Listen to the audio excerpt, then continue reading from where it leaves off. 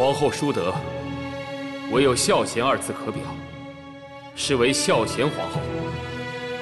天下臣民应以国母故事来扶丧。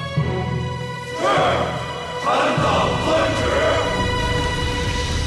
孝贤皇后的丧仪如此隆重，已经越过了大清开国百年的成立。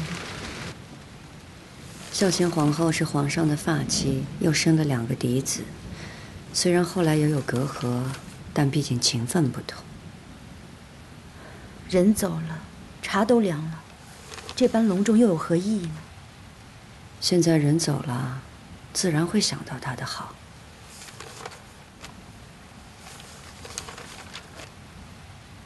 六阿哥，您慢着点儿。哎，永荣，别乱跑。没事儿，让他爬，孩子嘛。这长得真快。想不想吃这个？想。自己拿着吃。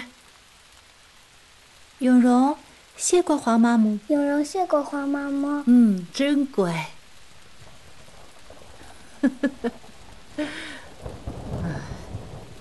孝贤皇后的丧仪。虽然有旧例可以比照，但皇帝如此隆重处置，你们也要精心。嗯，太后说的是。嘉妃有孕，各府里有年迈的老福晋，怀着身孕的福晋，须得仔细照应才是。宫里的奴才们，平日里归各宫管制，都还好说。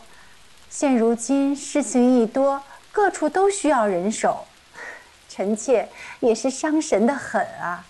嗯，再嫌烦，还有礼部和内务府呢。永皇不也帮着你在打理？啊，永皇虽然年长，但也未曾经过这样的事情，还是有些毛躁。倒是臣妾的永璋，倒还稳重。哦。永璋如今这么敬意，是，嫡母崩逝，再怎么不懂事，也该稳重了。那好啊，大可让永璋和永璜分担着，也算多个历练。是，臣妾多谢太后。嗯，你是儿女双全的人，这满宫的嫔妃都比不上你。哀家听说，孝贤皇后临终前还举荐了你为继后呢。想是传言有误吧？臣妾哪里配为继后啊？没事儿，坐下说吧。是。如今后位虚悬，有人的心思怕是愈发藏不住了。纯贵妃这几日领着嫔妃命妇祭拜，格外的讨好笼络。嘉妃他们对这纯贵妃也是百般的巴结，怕是纯贵妃对后位已经动了心思了。如今宫中就我和她是贵妃，她儿女双全，又有孝贤皇后临终前的举荐，她动心不为过啊。纯贵妃所仰赖的，不过就是两个亲生的皇子和一个养子。可姐姐，你别忘了，你是出身后族，又有皇上的情分在。如果真有继后，也应该是姐姐你啊。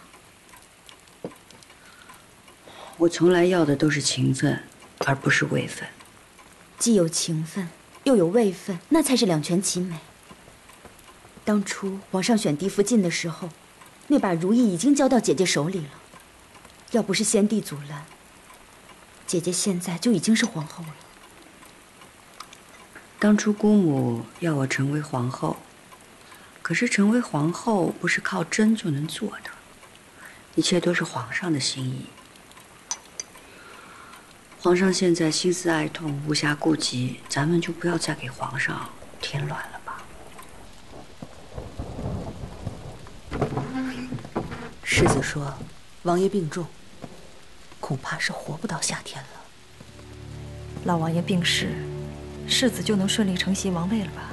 是，世子辅佐王爷多年，承袭王位是理所当然。倒是您这儿，孝贤皇后崩逝，后位悬空，是时候该盘算向前一步了。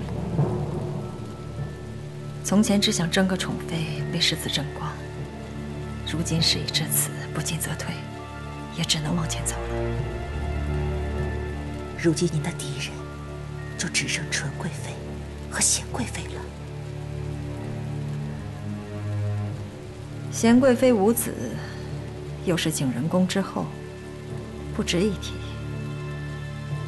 纯贵妃生在有三个儿子，可我偏要让这个成为她的致命弱点。